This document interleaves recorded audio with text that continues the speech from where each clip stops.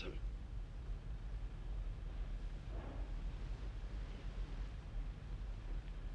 Saj to je kabina na meteorju. Ja, Zakaj sem zvezan? naš ujetnik si. Hoteli ste nas odpeljati, da nikoli več ne bi videli doma. Pa smo vas prehiteli. Zdaj te bomo mi odvedli tja, kamor spadaš. Fan, drži jezik! Kričanje vam ne bo nič pomagalo. Ja, najbrž res ne. Kje so drugi? Kje je Lorenzo? Na otoku. In naš sin je ga lepi ostal tam. In kaj bo z menoj? Tebe in ladjo bomo predali policiji. Pa potem? Potem nam bo policija pomagala, da dobimo nazaj našega galeba. Tako torej. Ivo! Pridi pogledat, kaj sem odkril. Piše banane in južno sadje. Vsaj ženi ne bomo. Piše. Ampak jaz sem en zaboj odprl. Kje pa tole? Tihotapska roba. Kar precej je. Škoda, da niso vkrcali še zaloge iz votline.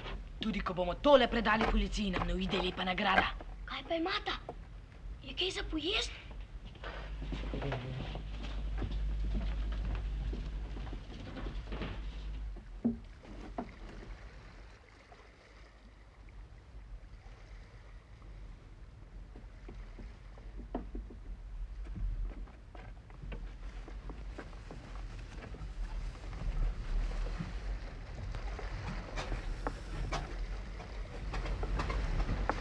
Kapitan! Mir. Sever.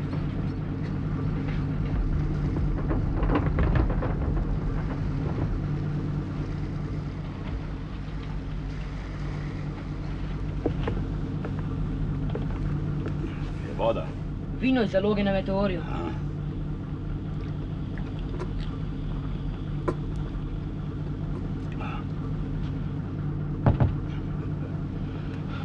Fant, kaj vas je gnalo na morje v tisti lupini?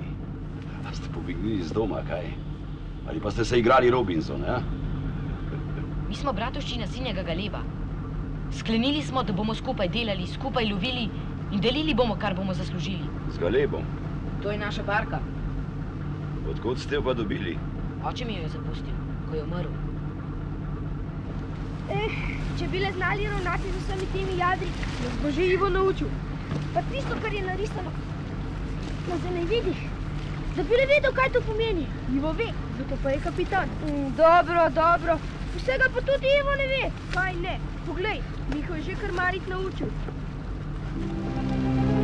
Aj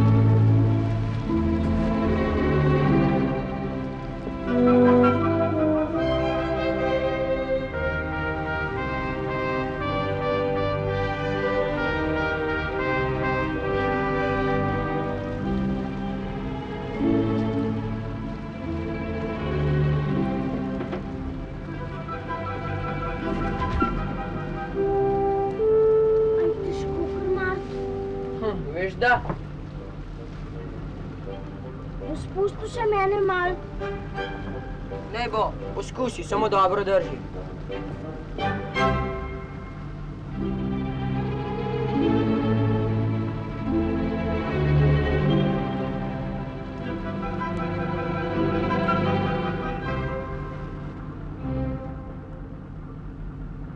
Ampak, ko se je oče vrnil domov, je prišel samo umret.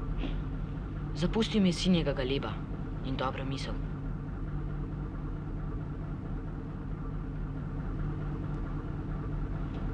S fanti smo se zmenili za skupno delo. Zdaj smo še otroci. Toda, ko bomo možje, bomo dokazali, da ima moj oče prav.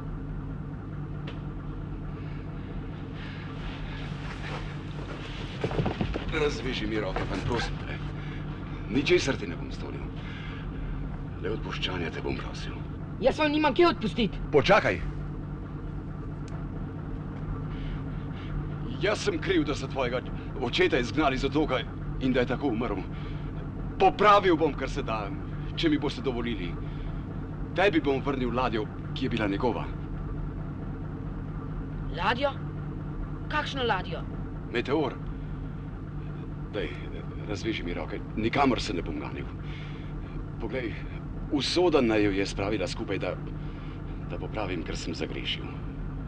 Zaupaj mi. Prav, zaupam vam. Ker sem včeraj slišal, da ste se potegnili za nas.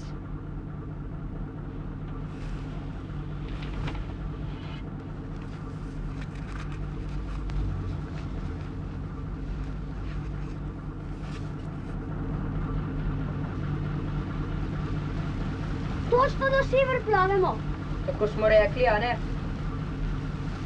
Zdaj bom jaz prijel, pa če pride kapitan. Ušel je alarm. Alarm! Fantje, pazite!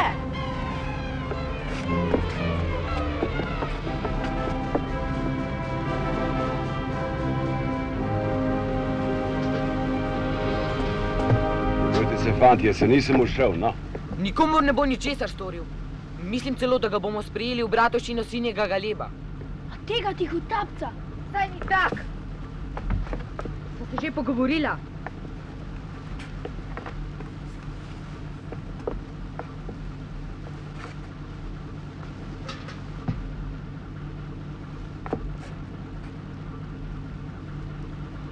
Veste, fantje, moja mladost ni bila takšna, kakor vaša. Živel sem v mestu in dobro se mi je vodilo. Končal sem šole, postal kapitan. Ne verjamete, kaj? Ja, ja, pravi kapitan, tak eh, v modri uniformi z zlatimi našivki in zlato obrobljeno čepico. Bil sem mlad, podjeten. Ampak moje želje niso bile dobre. Hotel sem na hitro obogatiti. Začel sem slepariti sledili so me in vrgli iz službe.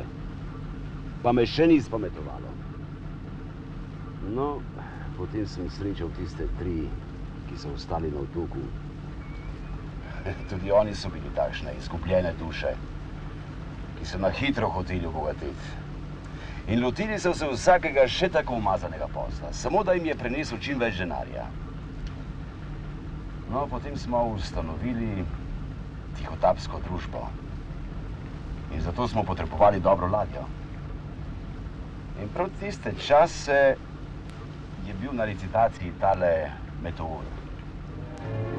No in takrat sem tudi srečal tvojega očeta, Ivo. Gospoda, gospoda, samo toliko za to lepo, popolnoma novo, prekrasno ladjo. Kdo da več? Še sto zraven. Gospod je zvišal še za sto. Gospodje, čakam na vaše ponudbe. Kaj ne da nihče več?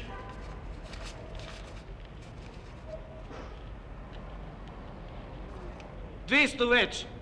Tako je, gospodje. Še za 200 smo dvignili ceno telepotice. Ja, to je komaj pravi izraz za tako ladjo.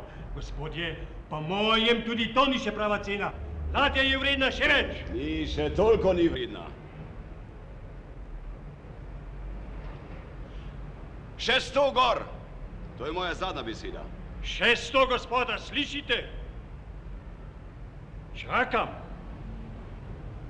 Če ne da nihče več, Dvesto više.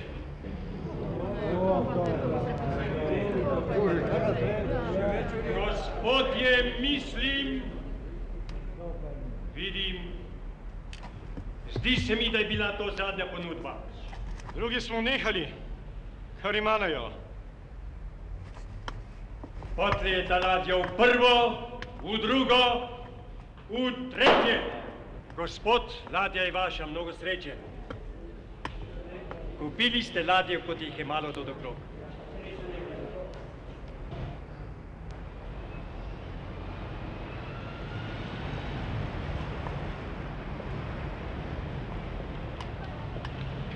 No, torej ste me potokli, gospod. Jaz nisem gospod, jaz sem Reven Ribič. A, reven, s tako ladjo. Ladja je last vseh nas. Katerih vse? Ja, vseh ribičev v vasi. A, tako. No, kakor že, gospod, spodobi se, da se lepo pozdravimo. Ne ujezi. Povabim vas na kozarček.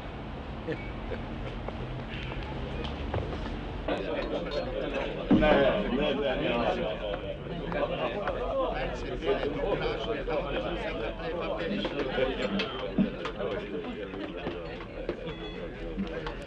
No, še enkrat. Za srečno plovbo. Zdravje.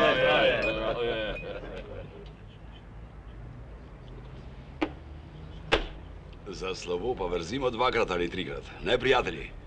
Že mešam, že mešam. Če bo imel gospod čez zdaj toliko sreče kot prej, bo to slabo za nas. Jaz rajši ne bi. Čakajo me, cela vas me čaka. Ja, dajte, no, se smo možje med seboj, no, ladja vam ne bo šla dol in vas čaka v pristanišču. Še na rundo.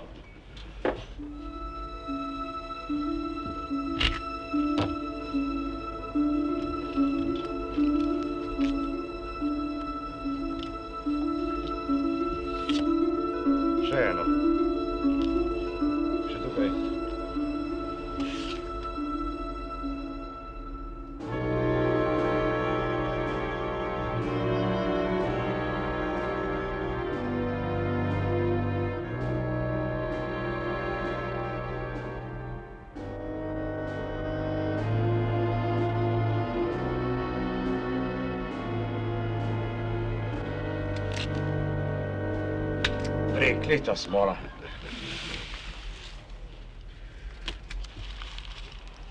Dej še enkrat. Še eno.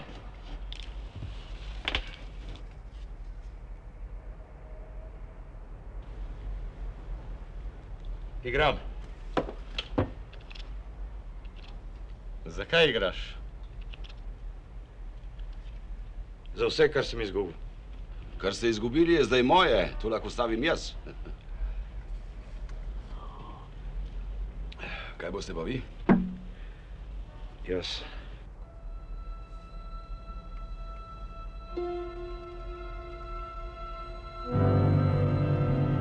Kaj naj stavim? Zdaj ne bom izgubil. Ladjo. Meteor? Prav? Samo papirje na mizo.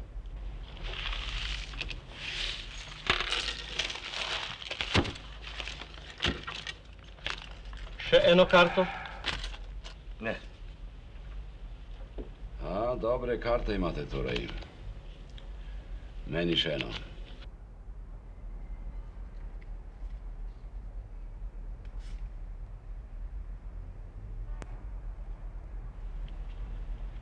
Enaindvajset. E, pardon. Goljufija! Ta ast je že bil! Goljufali ste!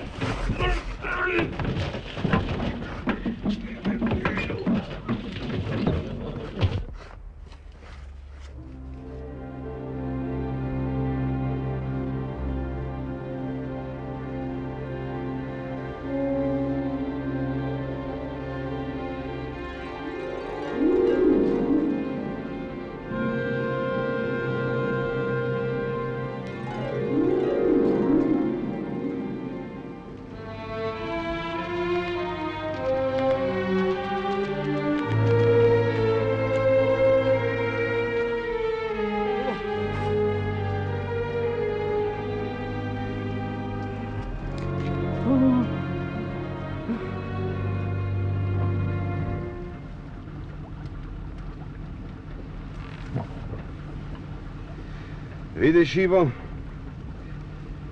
Tako sem ogoljufal tvojega očeta, prav za tole ladjo, ki si jo ti zdaj tako pravično usvojil.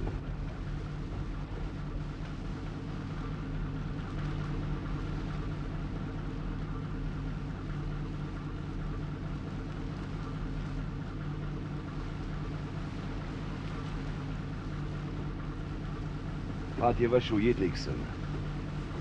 Ampak pred me predaste policiji, da odslužim zasluženo kazen, bi rad storil še kaj dobrega na tem svetu. Kapitan sem bil. Naj vas naučim pomorstva in ribištva, potrudil se bom. Fantje, sprejmite me v svojo bratovščino.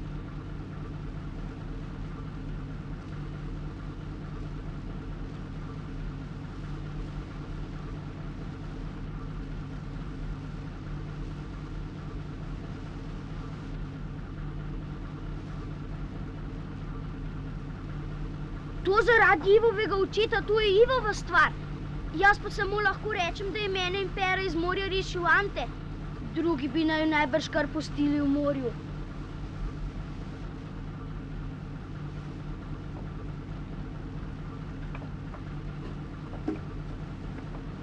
Nasi.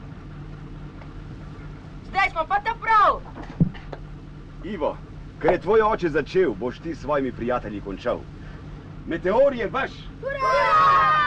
Razbite vsa jadra!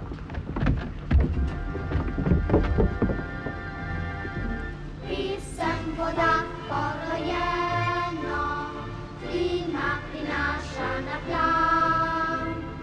Trka na srca, da gremo, poslušati jo noč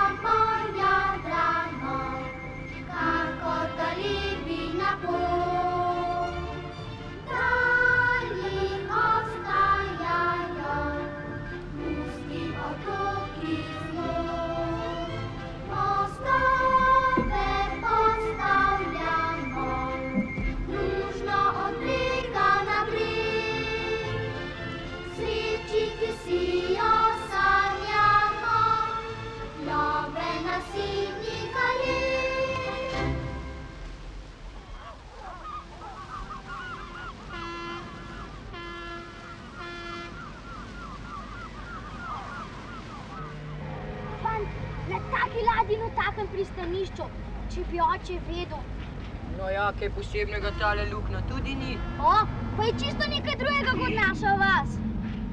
Čakaj, da pridemo v Ameriko in Afriko. V Ameriko? Ja?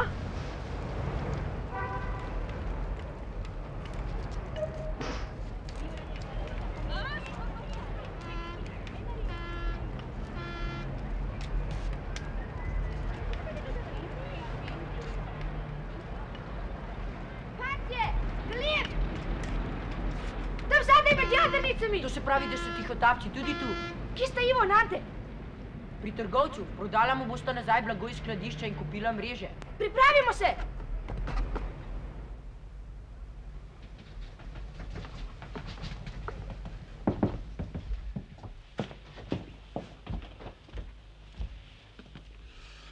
Poslal je pomočnika povoz, da naložimo, kar je v skladišču ladje. Ni rad vzel blaga nazaj, pa sem ga pregovoril. Pomočnika? A, tisto kislico, se si ga videl, ne? Zakaj pa potem ta pomočnik tako tekel dol proti pristanišču? Kaj? Ravno kar je zginil tam doli. Tukaj pa nekaj narobe. Se res? Čudno, da je stari tako hitro privolil, da se ni bolj upiral. Ti kaj pa, če je Lorenzo z vašim galebom? Ivo, brž dol hladi.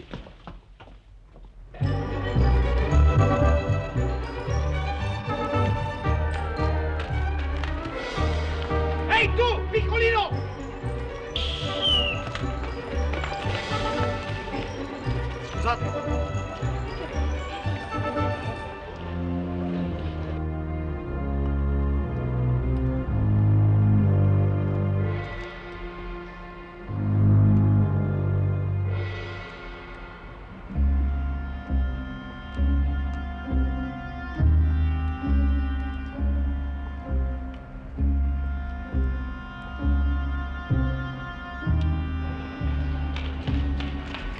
Tam Zdaj tečete mano.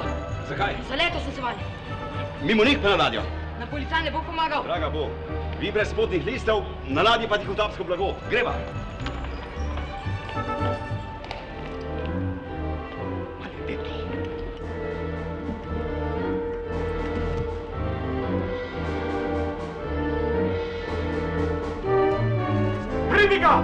Drži ga, fanta!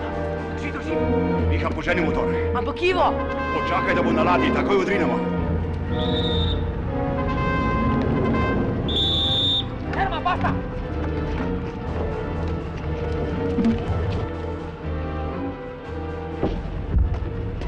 Odplujte brez mene. vsi gremo, ali pa nihče.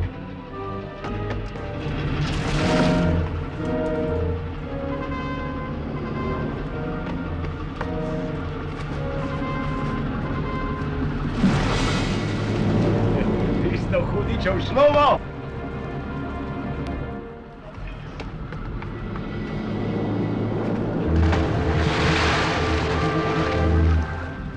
Miha, poželi!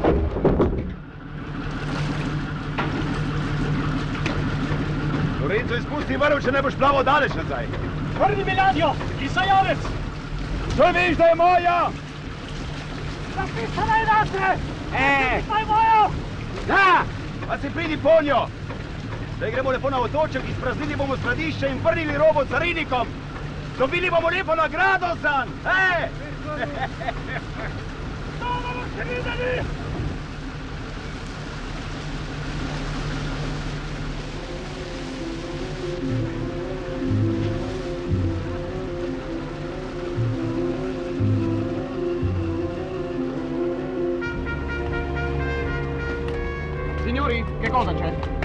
Niente! Discorsi familiari! Discorsi familiari. Che famiglia!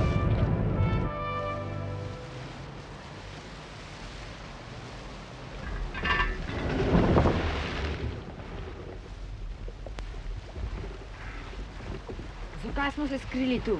Počakali bomo, da gredo mimo. Oni mislijo, da smo odšli na otok izprazniti skladišče.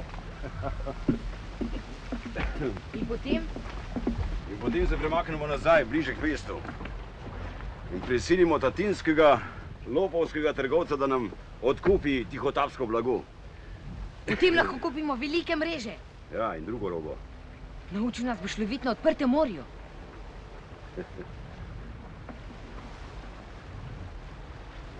Namazati se moraš. No, kako je krmar? A smo jih, kaj? Thank you.